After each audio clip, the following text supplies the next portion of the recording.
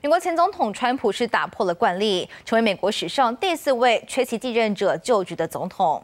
那他也选择在安德鲁斯空军基地来举办离任仪式，发表最后演说，内容是细数了任内的成就，还留下伏笔说未来会以某种形式再回来。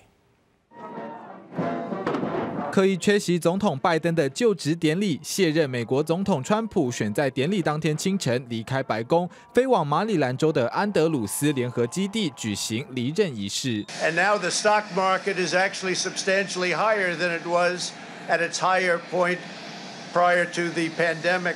告别演说，细数自己任内政绩，大幅减税，增加工作机会。川普还强调，美国经济是前所未有的好，但只字未提拜登的名字，只用了“新政府”三个字取代。I wish the new administration great luck and great success. I think they'll have great success. They have the foundation to do something really spectacular. 这是川普最后一次以国家元首身份搭乘美国空军一号，享受国家礼遇。这也让他成为美国史上第四位，也是一百五十多年来首位拒绝参加继任者就职典礼的总统。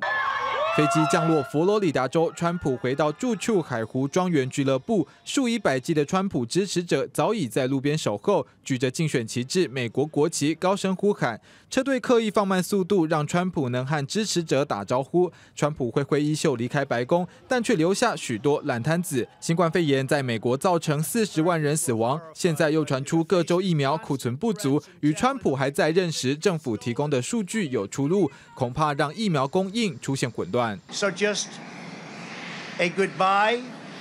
We love you.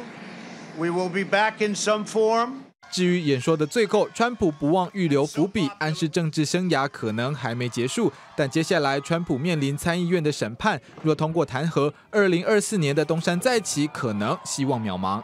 公视新闻王博文编译。